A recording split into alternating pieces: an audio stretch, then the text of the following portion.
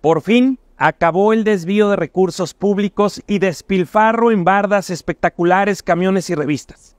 Se confirma lo que era más que obvio. Desde hace dos años Obrador impuso a Sheinbaum porque quiere seguir siendo el poder tras el poder.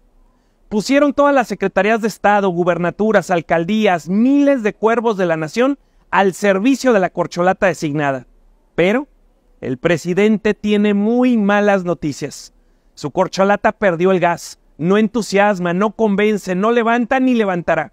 Está muy claro, el régimen morenista apostará todo a la presión y movilización de sus clientelas electorales.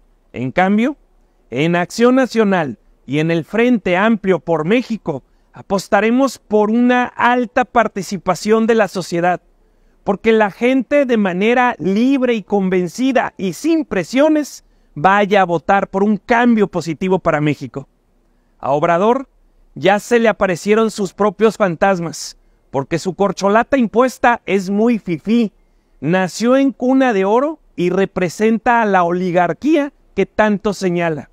A diferencia de Xochitl, que nació en la pobreza, que es de origen indígena, que viene desde abajo abriéndose camino por sus propios esfuerzos y méritos.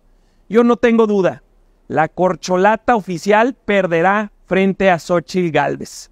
Xochitl es una mujer valiente y congruente con sus convicciones, demócrata, inteligente y sagaz, independiente, carismática y comprometida en serio con el combate a la corrupción.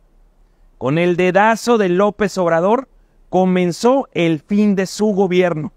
Y como vive en un palacio, piensa que el poder en México se hereda y ahora va a montar otro espectáculo para coronar y entregar frente a sus súbditos el bastón de mando a su corcholata.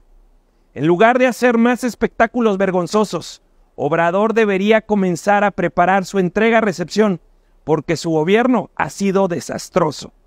En Acción Nacional estamos muy contentos porque les vamos a ganar, porque en el 2024 tendremos el primer gobierno de coalición con los mejores perfiles de la sociedad civil y de los partidos del Frente Amplio por México.